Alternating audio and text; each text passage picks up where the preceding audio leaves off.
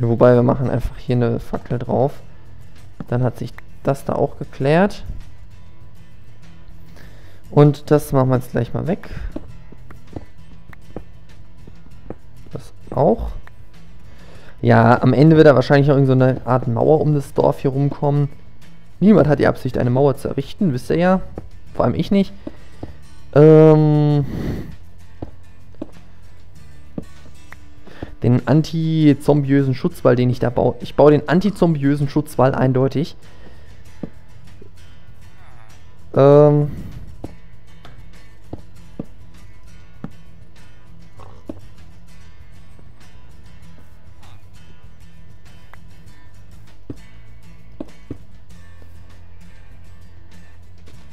Äh.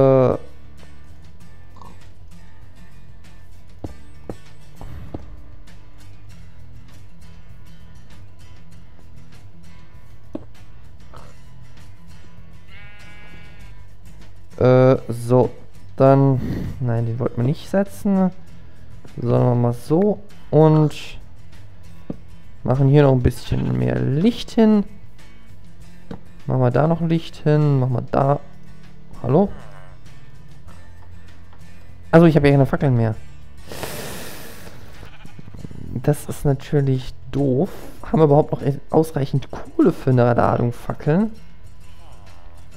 Wenn nicht, wäre es schon etwas doof. Haben wir noch Fackeln im Inventar? Nein, haben wir nicht. So, wir gucken jetzt gerade mal nach, wie das Ding mit, wie es denn mit Fackeln hier aussieht.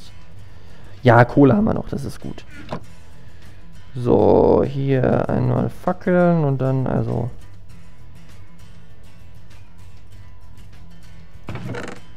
Ich glaube, wir müssen nächstes Mal wieder ein bisschen Kohle besorgen.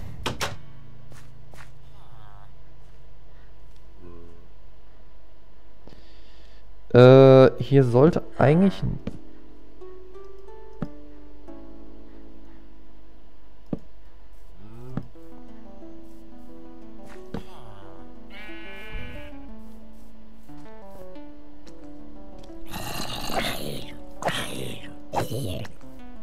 Okay, dann droppt er mir gerade mal einen Ofen. So, das packen wir mal in die Offhand. Ja, Beleuchtung, da kümmern wir uns später auch noch drum. Es geht jetzt nur mal darum, dass ein bisschen Licht im Dorf ist.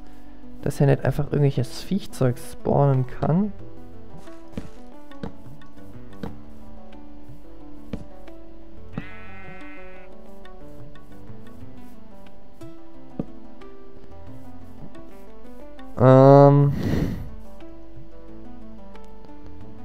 So, haben wir hier noch irgendwelche Ecken, wo eventuell noch Viehzeug spawnen kann? Ja. Zum Beispiel hier an den Fen Feldern. Könnte ein bisschen Licht nicht schaden.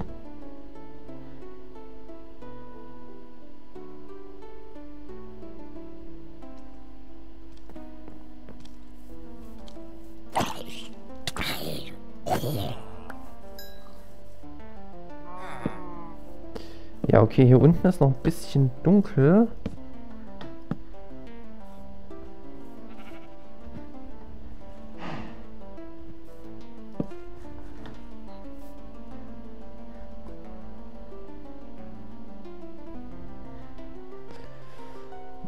Äh, wo kann denn überall noch Viechzeug spawnen?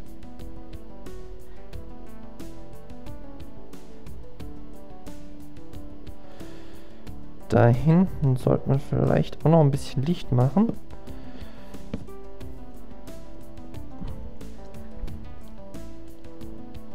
Gut, auf den Dächern kann zum Teil auch spawnen. Oh, unser Dachschaf ist weg. Okay, hier mal ein Zombie.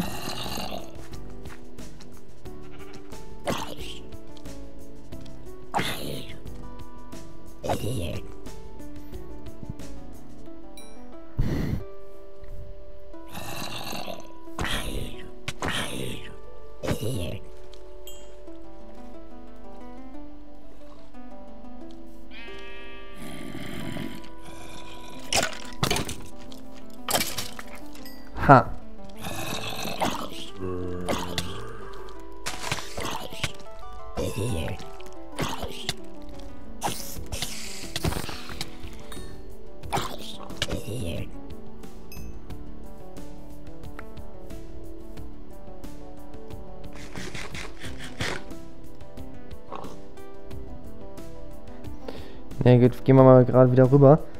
Und hier befackeln wir das, die Ecke auch mal noch ein bisschen, weil die ist noch äh, leicht ja, dann fress halt was.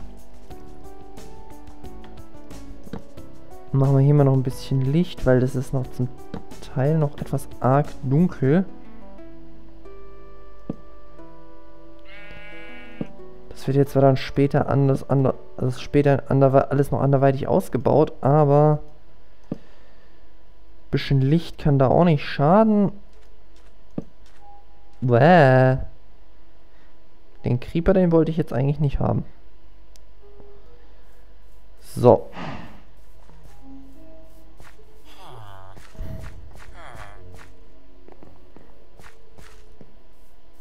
Wie viele Pfeile haben wir? Sieben. Äh, wir haben sogar eine Goldhose.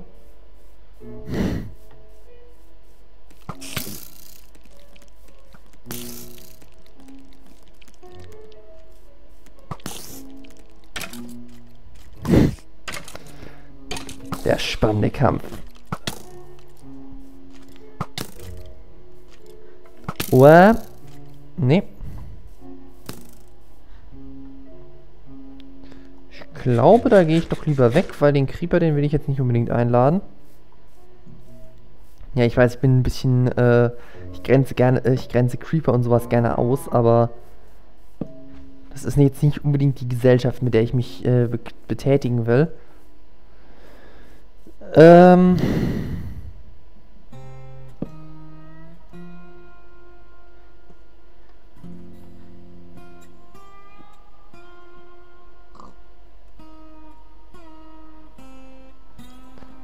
Ähm, ja, mit, der, mit dem Zaun und so müssen wir nochmal gucken. Aber ich würde jetzt eigentlich gerne mal so eine ganz... So ein paar ganz simple Hütten bauen.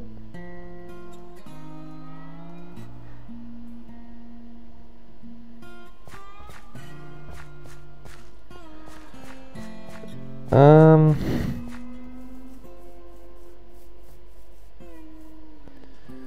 Also eins, zwei...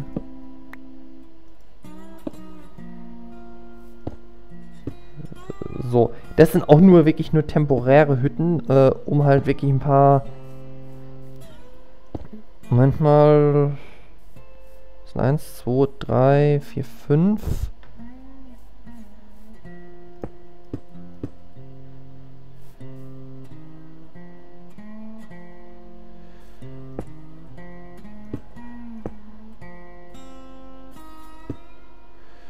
1, 2, 3, 4, 5.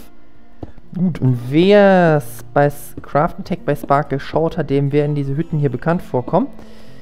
Sicherlich der ein oder andere Zuschauer, dem das dann aus Crafting Tech bekannt vorkommt. Der Spark hat nämlich genau solche Hütten auch gebaut. Und ich, äh,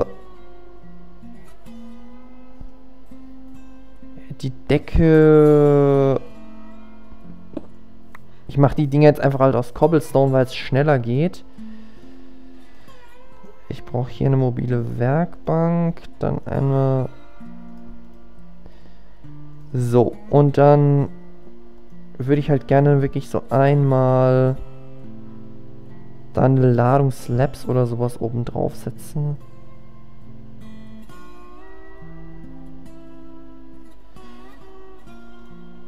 36 Slabs ist eigentlich erstmal okay.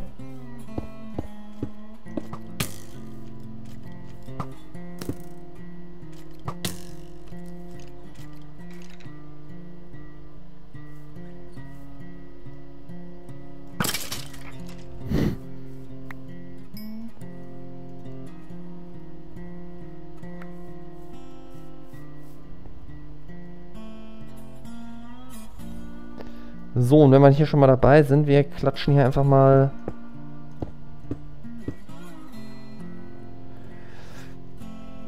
Der einsame Creeper zieht in den Sonnenuntergang. Ha.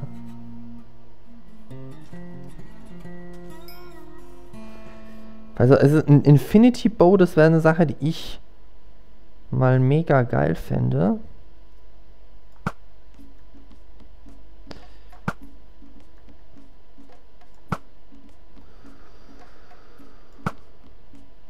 Ha!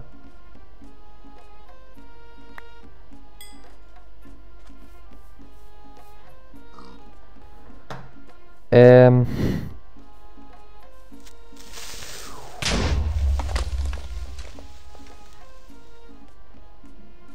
Moment mal. Wir müssen erstmal das Inventar entrümpeln. Was haben wir hier alles drin, was wir jetzt gerade nicht brauchen? Slimeballs können wir rausschmeißen, das können wir auch mal rausschmeißen, das können wir auch. Dann brauchen wir vielleicht später noch.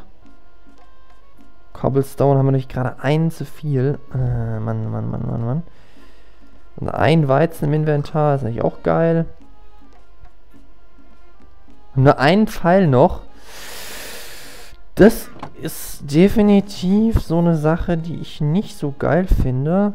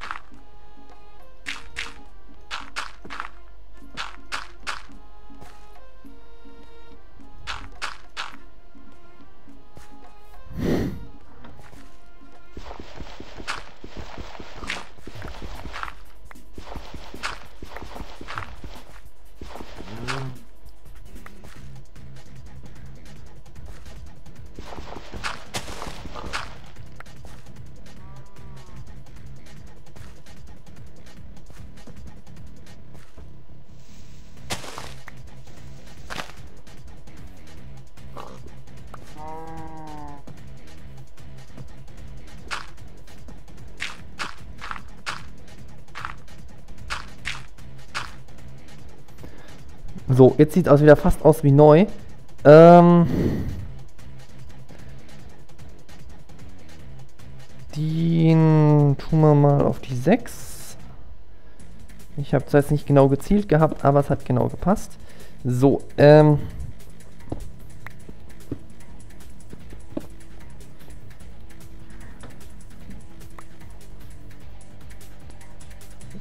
So,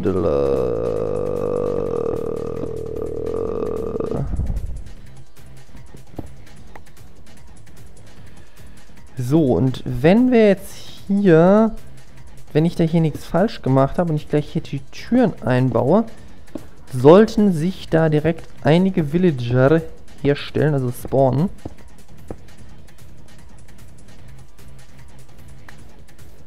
Ähm... Obendrauf sollte ich natürlich auch noch gut ausleuchten. Also für das Fackeln brauchst du jetzt da auch nicht. Innen drin sollte man natürlich auch noch ein paar Fackeln anbringen.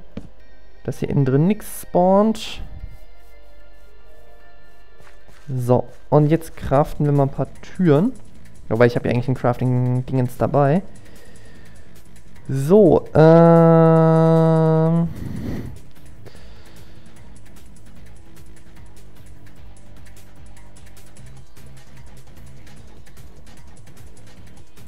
Naja.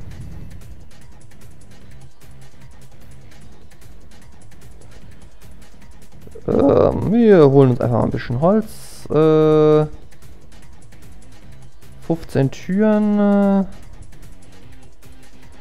nüppt es lang nicht. Wir brauchen noch ein paar Türen mehr. Äh, nee, aber 21 Türen, das sollte eigentlich reichen.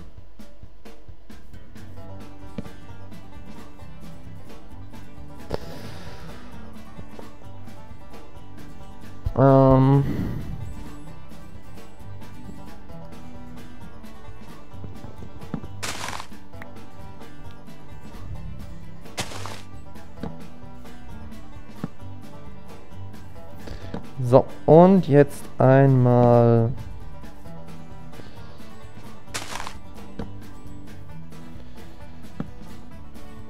Also das mit den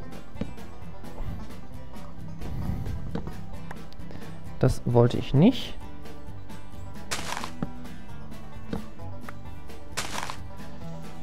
Das müssen wir zum Beispiel abbauen.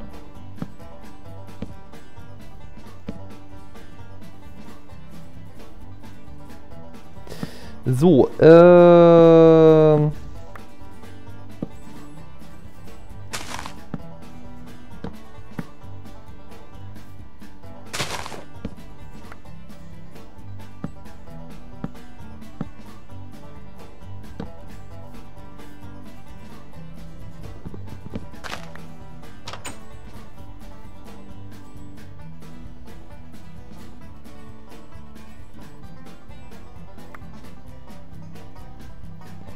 Ähm, ja, okay.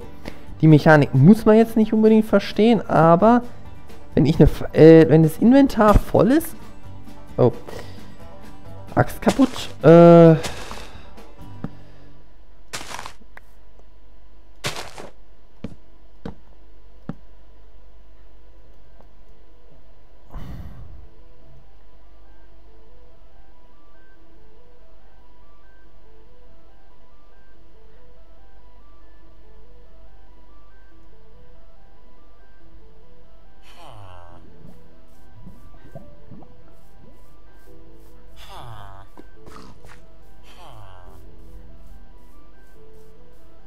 Ich hoffe, ich habe da innerhalb des Dorfradiuses gebaut.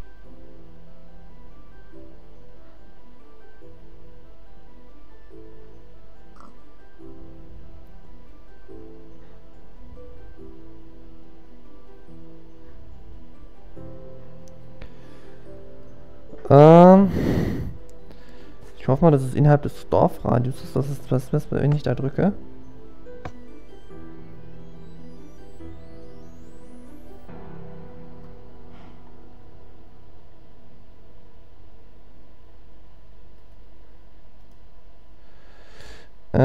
Mal, slash Mode 1. Äh, äh, fertig. Äh, bam, bam, bam. Ja, ich, ich weiß nicht, ob das was, äh, machen wir machen wir Game Mode 0.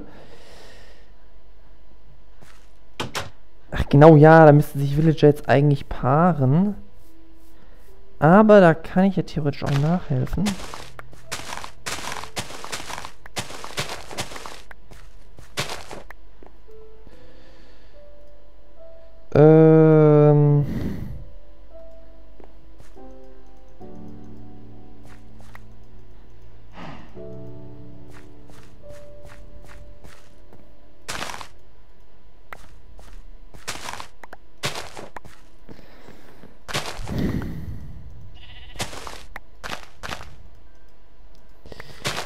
Was ich übrigens auch mal geil finde, was ich vielleicht mal implementieren könnte in Minecraft, also hier in ja hier in, im Let's Play und so, dass du das nicht jedes Mal abschlagen musst, um es zu ernten, sondern dass einfach ein Klick, ich glaube, mit Rechtsklick drauf, dass das dann automatisch geerntet wird und sozusagen direkt mit neu, neu gepflanzt wird. Äh, mal gucken, ob man das irgendwie implementieren kann, weil zum Beispiel bei Live in the Woods gibt es das, aber gut, das ist ein Modpack, aber egal. Ugh, Gott, Kinder. Och, man.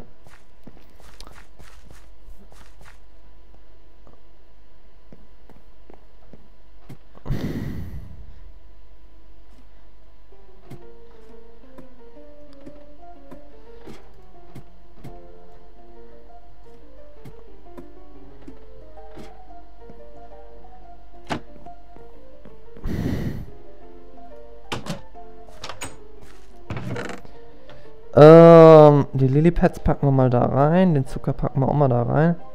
Knochen auch. Fäden auch. Den Ofen auch. Die mobile Werkbank auch. Eine mitnehmen muss okay, reicht aus. Nehmen wir einfach mal sämtliche Karotten mit.